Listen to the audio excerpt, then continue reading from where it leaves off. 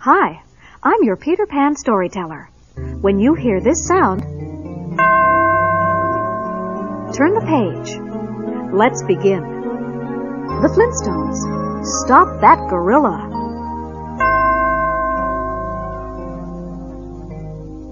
It was quitting time at the Rockhead and Quarry Construction Company. Fred Flintstone and his pal Barney Rubble were especially eager to knock off work that afternoon. Got your plans all set for this evening, Barney? Fred asked as they drove home. Are you kidding? Uh, Betty and I wouldn't miss tonight's shindig for the world. Uh, after all, there's only one night in the whole year when the Loyal Order of Water Buffaloes holds its annual charity masked ball. You can say that again, pal. Okay, I will. Barney replied cheerfully. There's only one night in the whole year when the Loyal Order of... Will you kindly stop acting like an idiot? roared Fred. No, seriously, Barney. I have to go rent a costume. Uh, what are you gonna wear? a gorilla suit. Gorilla suit, huh? Well, that ought to look real natural on you, Barney. Some people I could name aren't all that far descended from monkeys. Fred Flintstone shook all over as he chuckled. Uh, now who's acting like an idiot? Huffed his pal. I was just joking, Barney. Tell me, where are you going to get this monkey costume? I, I mean, gorilla suit. Uh, Betty's got it packed away somewhere uh, up in the attic. Used to belong to my uncle, Two-Ton Tony Rubble. Two-Ton Tony, huh? I remember him. That guy was built like an oversized rock pile. Fred shot a sidelong glance at his friend. Gonna look kind of big on you, won't it, Barney? Uh, no problem. Uh, Betty can either take it in, or else I'll stuff it with paper, something like that.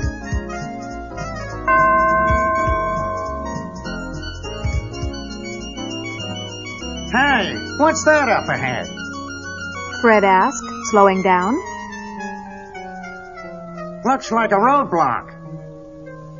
What's going on, officer? We're on the lookout for two escaped convicts. They just busted out of the Rockford pen. Who are they? said Fred. A couple of real hardened criminals. Slingshot Sam and Kid Blaster. Ought to be easy enough to spot 'em if they're still wearing saber-tooth prison stripes.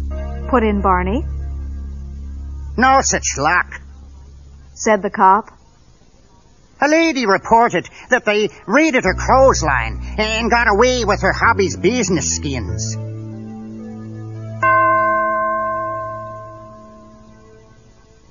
At that moment, the two cons were skulking among the visitors at the Bedrock Zoo. We can't hide out here forever, Sam. Muttered Kid Blaster. It's almost closing time. The guards will be clearing the place out soon. Hey, that gives me an idea. said Slingshot Sam. Let's lie low when they close up. Then swipe the zookeeper's keys, unlock the cages, and turn all the animals loose. What for? You want us to get trampled to death by the thundering herd? No, dummy. I want to start such a ruckus that every cop in town will have his hands full rounding up the escaped animals. Get it? Hey, that's brilliant, pal.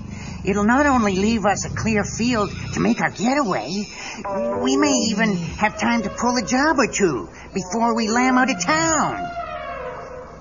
Slingshot Sam snickered and slapped his partner on the back. That's my boy Kid.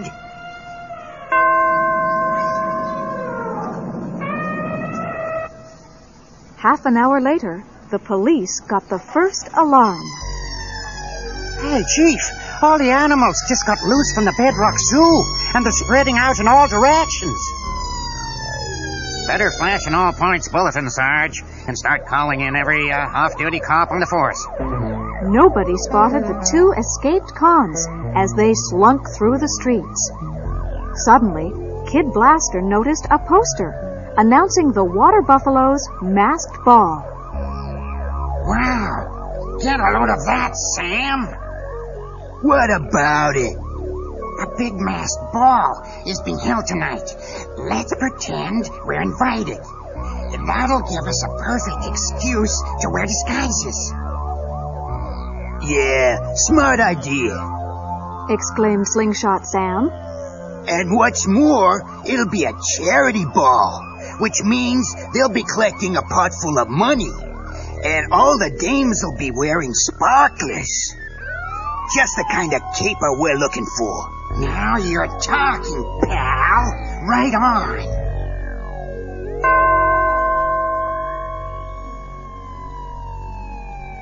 Meanwhile, our old friend Fred Flintstone was having a hard time choosing a costume. But he finally settled on a Western getup. I reckon this here cowboy suit with a 10 gallon hat'll do just fine, partner. Yeah, ba do. As he paid up and left the costume shop, Fred never even noticed the two criminal types who suddenly emerged from the back room. Don't move, Mac. Sam hissed at the shop owner. I got you covered. Tie him up, kid, and then we'll pick ourselves out a couple of good disguises.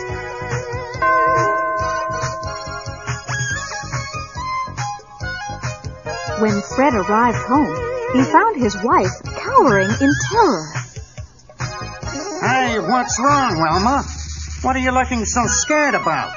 Take a peek out the window, Fred, and see for yourself. There's a big gorilla out there by our apple tree. Oh, is that all? What do you mean, is that all? This is no laughing matter, Fred. Have you flipped out or something? There's nothing to worry about, Wilma dear.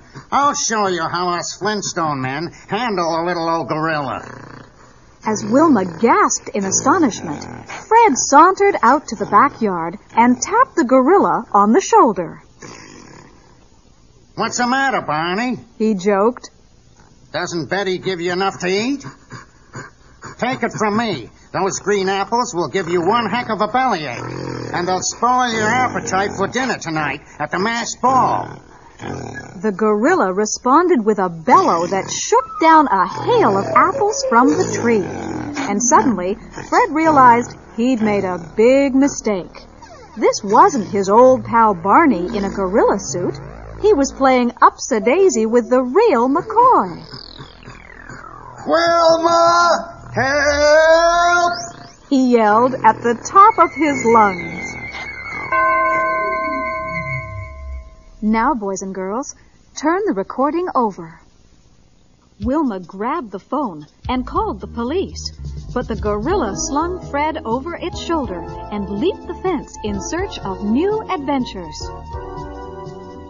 The woman says the gorilla just snatched her husband, Chief. Last she saw them, they were heading downtown.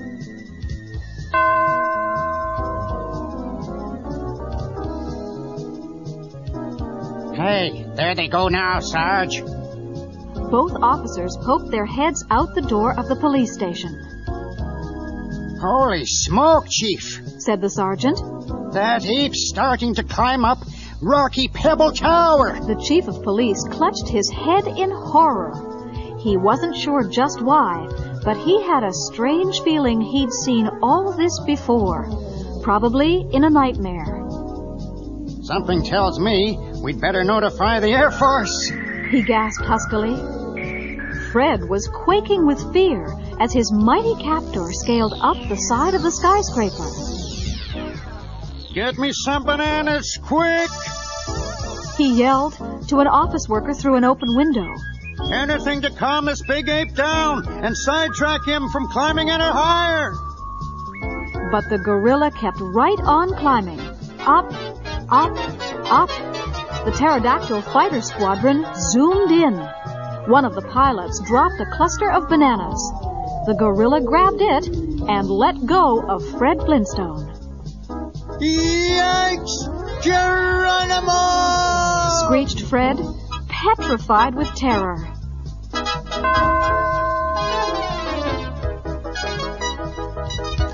A crew of firemen held their breaths, hoping they had their animal skin rescue net aimed just right to catch him. But in the nick of time, Fred managed to grab hold of a stone gargoyle.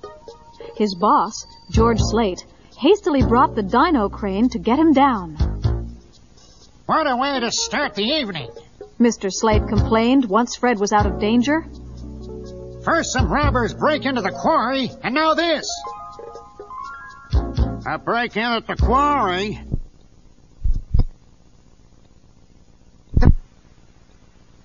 Slingshot and made up with a couple of sticks of dynamite and some blasting caps. Too bad, boss. Fred sympathized. But as you just saw, I've been having my own problems.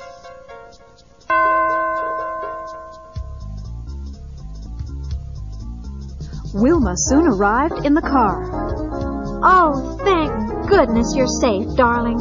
She gushed, giving Fred a big hug. It's getting awful late, but I brought your cowboy costume. If we hurry, there's still time to make the masked ball.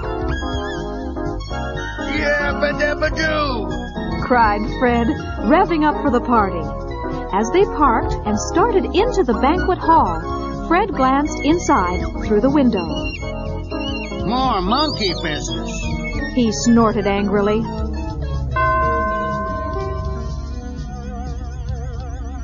What's wrong now, dear? asked Wilma. Take a look. said Fred. Inside the ballroom, a man in a gorilla costume was covering the party guests with a slingshot, while his partner, disguised as a tyrannosaurus, went around with a bag relieving them of their wallets and jewelry. Don't tell me there's two live apes on the loose tonight. Fumed Fred. That's gotta be Barney Rubble in his gorilla suit, up to one of his nitwit pranks. Fred, are you sure? gasped Wilma, following him inside. Fred yanked off the hold-up man's disguise and suddenly realized he'd made his second big mistake. This wasn't Barney either. It was actually the escaped convict, Slingshot Sam.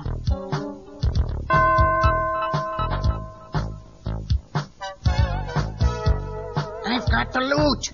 Yelled Sam's partner in the Tyrannosaurus costume. Let's get out of here. As he spoke, he tossed a sputtering stick of dynamite right at Fred Flintstone. Fred caught it, then froze with fear as the ballroom swiftly emptied. In fact, Wilma had already fled to call the cops. The blast shook the whole banquet hall, but luckily, Fred had ditched the dynamite before it went off. Phew. Wh- wh- Where am I? In fact, who am I? gasped Fred, looking dazed and all shook up. You're safe in my arms, dear. Purred Wilma. And you're my hero.